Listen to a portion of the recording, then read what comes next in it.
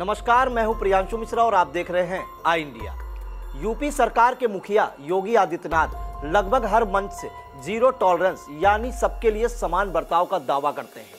वहीं दूसरी ओर, लगभग हर रोज यूपी के किसी न किसी कोने से ऐसी खबरें सामने आ रही हैं, जो बताती हैं कि इन दिनों भाजपाई जनप्रतिनिधियों के सिर पर सत्ता का नशा हावी हो रहा है। ताज़ा मामला यूपी के झांसी ज़िले का है।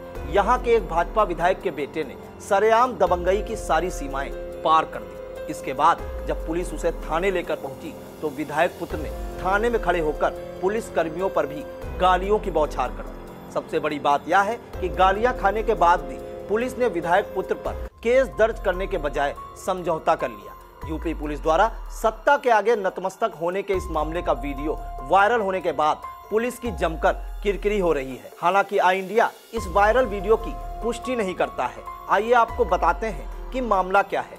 दरअसल, झांसी ज़िले के गरौठा विधानसभा क्षेत्र से जवाहरलाल राजपूत भाजपा के विधायक हैं। आरोप है कि विधायक पुत्र राहुल राजपूत अपने दो दर्जन गुर्गों के साथ लग्जरी गाड़ियों से वहीं के खरवांच घाट स्थित बालू घाट पहुँच गया और टोकन काउंटर पर धावा बोल दिया। आरोप है कि इस दौरान विधायक पुत्र ने कैश छीना और स्टाफ के साथ मारपीट भी की। एक कर्मी को इतना पीटा गया कि उसका पूरा शरीर ही लाल हो गया। घाट के कर्मचारियों ने इसकी सूचना पुलिस को भी दी।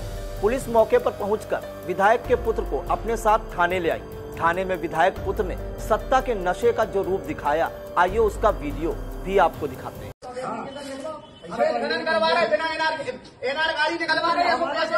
अरे हैं है है किसका तुम्हारा काम है। जो भी काम गलत होगा तुम्हारा काम है। तुम्हारा काम है।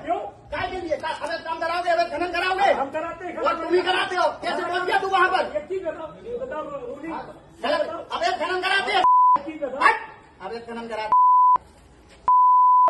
तो भाषा बिल्कुल जो है एकदम। हाँ भाषा बिल्कुल सही।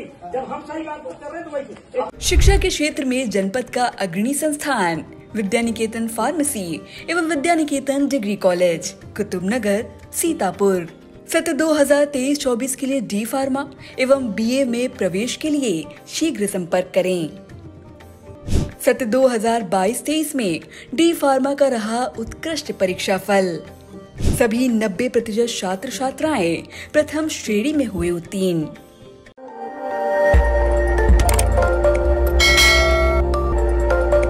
खबर आपकी नज़र हमारी।